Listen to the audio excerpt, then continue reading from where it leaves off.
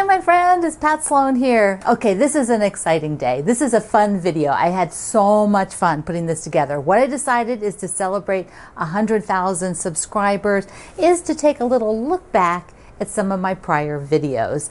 And so I've grabbed a few clips.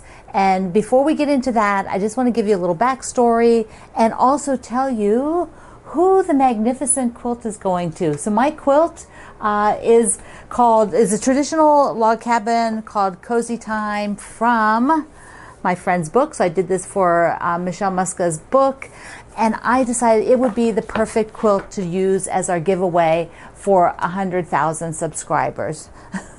yes, and it goes to Joann in Florida. She is super excited. She's been following my videos for about three years or so, uh, which I think a lot of you have been in the last three years.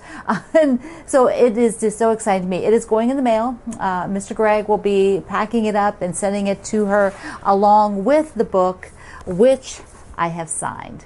So it is all signed and ready to go. Just such an exciting day. So, how did this happen, the YouTube channel for me? I just want to give you a little backstory because I thought it's just fun to document it. I am really a documenter at heart. I want to know kind of how things happened. And so for me, uh, YouTube started, let's see, started on April 23rd, 2005. That is uh, 17 years ago. I did my first video September 3rd, 2007, just about two years after YouTube was developed. So the first video was put out uh, by one of the co-founders, Jawed Karim, and he was at, I believe, the San Diego Zoo, and it's just a couple of minutes clip where he is at the zoo and uh, talking about being in front of the elephant cage. There are uh, three main uh, gentlemen that started YouTube, and he was only 25 years old, and I don't believe the other two were were any older. They were the three of them were, I think, met maybe at PayPal, a prior job, something like that. But anyway, uh, that is when it started. Now I don't know that I knew about that particular video, but between 2005 and 2007, YouTube was starting to become uh, known to people. And so I decided it would be fun to go ahead and do a video. And so what we're going to do now is I'm going to show you a group of clips. We're going to go through the clips and at the end of the video I'm going to show you up close my quilt again. I'll show you the backing again and it'll be just this will be just a super fun recap. So first of all, we're going to kick off and just I just did portions of each of the videos. Uh, to take you through time and I want to tell you a little bit about each one. So the first one here is my first video, which we we did outside because we are not trained in video work, but Greg did a lot of sound work uh, in high school for uh, video videography, other videographers. Um, he was in Votech, and so he knew a lot of sound stuff. And so we were, you know, he was trying to like think about that.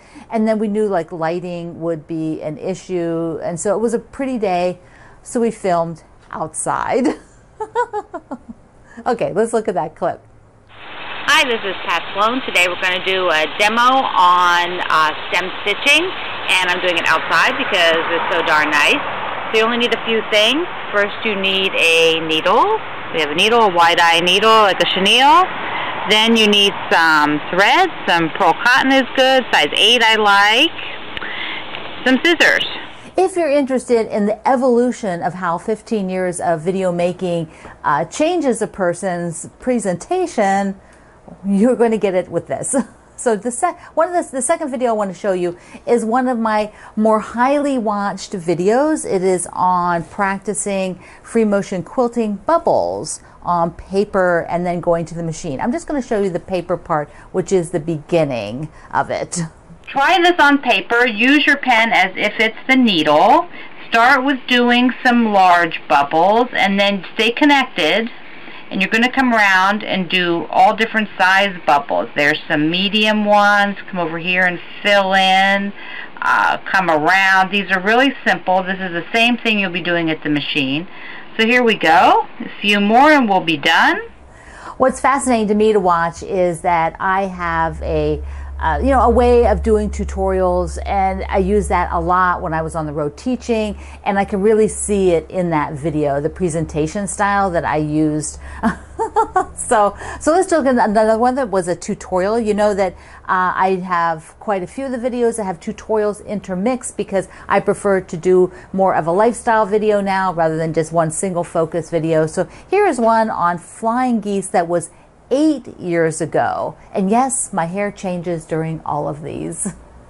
Hi, I'm Pat Sloan. I want to give you a little tutorial on how to do a single flying geese unit with a sew and flip method, which is effective and easy, and you'll be super successful. So let's take a look at it. My sample is a three and a half by six and a half unit, flying geese unit. It'll go into your quilt and be three by six.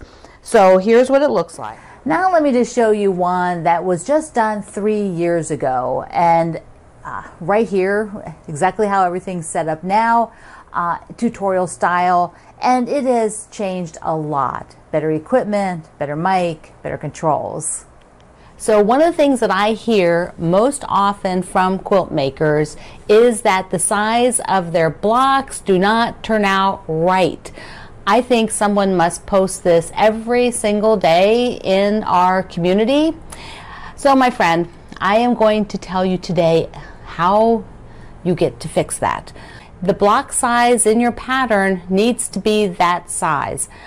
Uh, often people will say, um, oh, it doesn't matter if they're all the same size, you know, but it can matter because the layout that you're going to attach it to, it's like a puzzle. It has a size and your block is a unit in the layout, the layout of the puzzle. And if your block is too small or too big, it's not going to fit in the hole properly.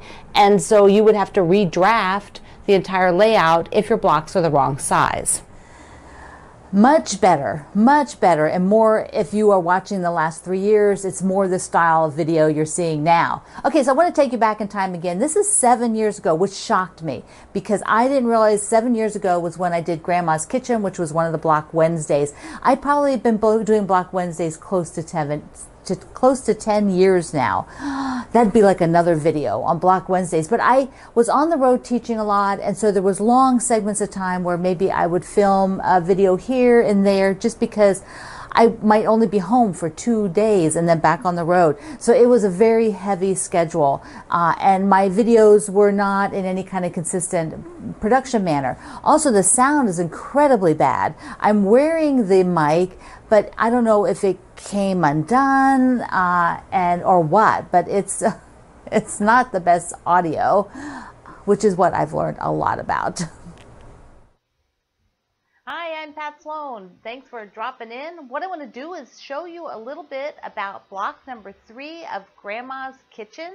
You know, I'm naming everything, uh, every block, uh, something that is a reminder of my childhood grandmothers. You know, you might have a similar thing, or you might have, this might trigger a memory for you. Now, I got a kick out of this next one. It was on UFO management four years ago. And this is like a never ending topic. And I think that it is something that we as makers do to think about our entire life. We don't ever lock in to how we can, you know, keep UFOs under control because we like to make things. So we're constantly, you know, seeing something new. We want to try and, you know, those kind of things. So this was fun to find. And so I hope you enjoy this clip. So I have a few things. First of all, this is like UFO busting chat first because um, I have, where is it? I have, whoops. Oh, now I dropped it. Hold on.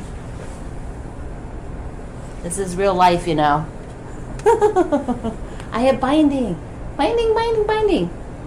Um, have I, have I put it on the quilt yet? No.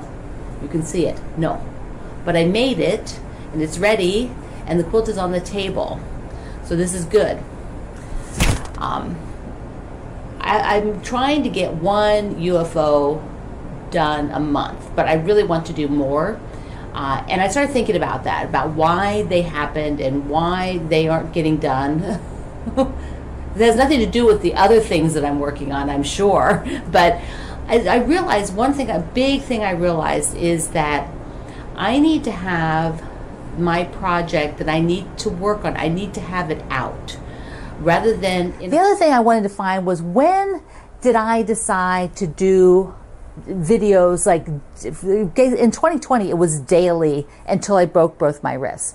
Uh, I, and so I'm like thinking, when did that happen? So I went back and found that it was I knew it was had to do with the pandemic because the pandemic was um, the catalyst for me doing daily videos and doing what I'm doing today. If it were not for the pandemic, I'm not sure that I would have gone this route. But I, am almost pretty positive I would not. It would not have occurred to me to do this. Who knows? Maybe I would have, but that is the whole reason. I thought we needed to be doing something together. Uh, how long could this last? uh, you know, so famous last words. But th- I have two clips. One is sort of getting prepped, and then I'll show you uh, the other one. So let's look at the first one uh, on getting ready to sort of do a video a day, which I'm not sure that people would have liked. I was worried you wouldn't watch. And today uh, is also, I came up with a crazy idea Actually, I came up with it last night. Came up with a crazy idea last night. And sometimes I decide I need to sleep on it because it might be crazy and it might sound like fun, but it's going to be, you know, I have some things I'd have to do, but I'm not going to make it very complicated. So that means it should be easy and I want it to be fun. So what am I talking about? March Madness. okay, not basketball, not basketball, March Madness. If you follow, um, different groups uh, around the world, uh, internet. Uh, there are often people have put out a March Madness challenge. And I've um, seen those over the years, and I started thinking, I really need to do that for us. For and then I kicked it off. So let's take a look. It is Crazy Quilty March. I'm Pat Sloan. Thank you for being here for day one, March 1st of my crazy month of March. I am doing an event, which means 31 days of prompts and little videos to go along with them to have us thinking about our quilting and doing uh, doing something with it. Two more clips because uh, you know I have to. I cannot. I cannot uh, do this recap without talking about breaking my wrist because that was such a um, well, it was it was horrible, but it was just such a pivotal thing that happened for me and changed a lot of things about how I think and what I do. And um, I had to tell all of you. I had to tell all of you that I had just, you know, brought in to come and watch me every day that this has, had happened. Uh, and so it was um, kind of uh, interesting video to do. So let me just give you a little clip at the begin. It's just the first part of it. Hi, my friend. It is Monday's fireside chat, and I have a little update to give you. Uh, it seems I'm Pat Sloan, by the way. so I had a little tumble taking a walk, and I have broken both of my wrists. So and cracked a bone in my finger. So I am pretty much uh, as I'm out of commission. Uh, can't put any weight on anything, and so I wanted to give you this update because it's going to affect a little bit of what I do and how I can get things organized. But I'm I've got some plans, and I'm going to tell you about about those so that we can still do things together so when I put that video out there, I knew that I couldn't do uh, seven days a week anymore. The the fact that I decided, oh, I could just drop one day, I'll do six days. I, I look back on that now and I'm like thinking, why didn't I go to three a week or something like that? But I didn't. I didn't. Why didn't I go to five? No, no, I just dropped one day. poor Mr. Greg. Greg had to set up all this stuff, and that's really when all the video, all this video equipment had to get locked in and stay here on my desk all the time because there's no way to put it away and do a daily video. I mean, I film like even parts of other videos as I'm going along and doing other things. So um, that changed a lot about the mechanics of how I work is doing all of these videos uh, and then having him help when I broke my wrists and to keep everything going. so the last one I want to share with you, and then I'm going to do some a little another little clip, uh, is about when did I decide I would start giving away quilts? You know, when did I look at that number of getting close to a hundred thousand and decide, hey, I think um, I think we can get a hundred thousand and I'm going to give away some quilts along the way. So it was one year and four months, one year and four months ago, uh, April 29th, uh, 2022, there was 77,847 subscribers when I decided that I was going to start an event and a challenge to get to 100,000. So here's a clip. It is now the end of the video and I have a surprise. So I have a goal, and I've talked about this goal before, is I would love to get my channel here at YouTube up to 100,000 quilters. I know there's 100,000 quilters out there. They're just not, you're just not subscribed to my channel.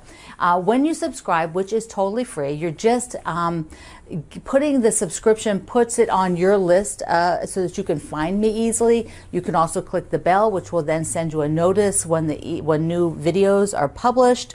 Um, but it's very it's free. But what it does is it helps my business. It helps my small family business if you sub- sub- subscribe because uh, YouTube sees these subscribers and says, "Oh, well, people like this channel. It has value."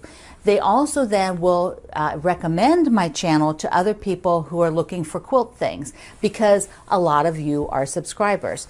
It's just how it works. So I would love to have you subscribe. But wait, there's more. in order to make this fun, kind of like a pledge drive, but not because there's no money. Not at all. It's really not like that at all. Okay. But anyways, what I'm going to do is when we hit, uh, what I put, 85,000, 95,000, and 102,000. You know, we got to get just over 100,000. So 85,000, 95,000, 102,000, I will give away not only a quilt, and this is the first one.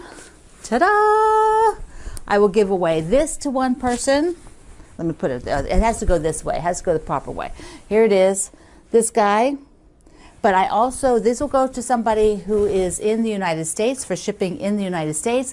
And then for a friend who is a subscriber outside the United States, you will get one of my new thread kits from Aurifil. Look at that so fun, so incredibly fun to recap this with you. Uh, I do want to show you a couple and tell you a couple other things about the channel. So first, let me do this clip, which just tells you uh, sort of how to find the videos. Well, let's just take a look and see what my video with the most views is because it is not the quilting video. You can see here popular videos and you can just scroll down if you're on a desktop. Uh, otherwise, click the video up here and then you have see latest, popular, oldest, so popular. And I have got 351,000 views of my video about my skin cancer on my nose. And then the next one is the bubbles, which I will show you showed you in the clips today. And then here are other ones. Um, another one was a yo-yo maker, um, basting, putting bindings on so they don't wave, all the way down. Here's um, stem stitch, my very first one. I guess a bunch of you have gone out to look at that. There's my broken wrist at 52,000 views. If you didn't see it yet, you can watch it. And then if you want to see that clip, I do have a link in the description box, but you can also click the oldest and you can go backwards. My very first video here 15 years ago and other ones. And then you can just scroll backwards and you know now that, uh, yeah, I have a lot, a lot of videos. Thank you. And another big thing that I have done is verify my channel. And that means that, and I've got this little picture up here, that means that there's a little check mark by the by my name on my channel, and it will also be by my name on any comment that I make. And what that does is that tells you that this is my channel. So if there's an imposter channel, which it happens, people make imposter channels and pretend they're me and use my photo, uh, the same one that I use, they steal it, and then I have to go report them and they get taken down. But you will always see a check mark now and know that it is me. If any other person that looks like me is writing and there's no check mark, uh, or their name is not just Pat Sloan, uh, then you know it's like Pat Sloan with some other crap after it. Uh, those are those are scams. They're scammers, and they're trying to get your money. And so you do not want to reply to them at all. You want to block those accounts. And so I am now verified. So that is a super awesome thing. And I want to tell you one other. Uh, really important thing that some of you may want to take advantage of. So let me do that on video. I have a feature here called Super Thanks. It is down here. It has the heart with the dollar signs, show support with Super Thanks. And this is a way for those of you who uh, normally do not buy online or want to send me like a coffee or a thanks for what I do. You can change the amount. Those of you in other countries, it makes it easier since you may not want to ship me something or just uh, if I've done something that you, was really inspiring to you, you may want to give me a show of thanks with a super thanks. And so what you would do is just do a buy and send and that will come right to me through the YouTube uh, system. And so I will buy a coffee, I will use it to work and you know support my family. So I really appreciate it if you uh, want to use that. It is available on every single video.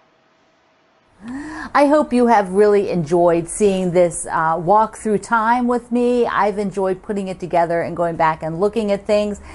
Take another look at the quilt that will be going out to our friend Joann in Florida, who is the person receiving my quilt. And the back, let's see, here we go. You can see the back. So it's got a piece back with some of the extra blocks back here, which was super fun to do. It is quilted in a traditional sort of Baptist fan. Ah, so fun. And I'll, I'll say this again tomorrow, but I have loaded the calendar for September. So I'll be talking more on it on Thursday and Friday, but I just wanted to tell you you can download your calendar now for September. All right, my friend. Thank you so much. I hope if you'll use the super chat. Uh, if you want to contribute to the channel, you want to buy me a cup of coffee, uh, I will certainly enjoy it. Um, and so I love you. Mwah. Thank you for being here in the Sloan Zone. I'm looking forward to many more years of videos with you. I love you. Mwah.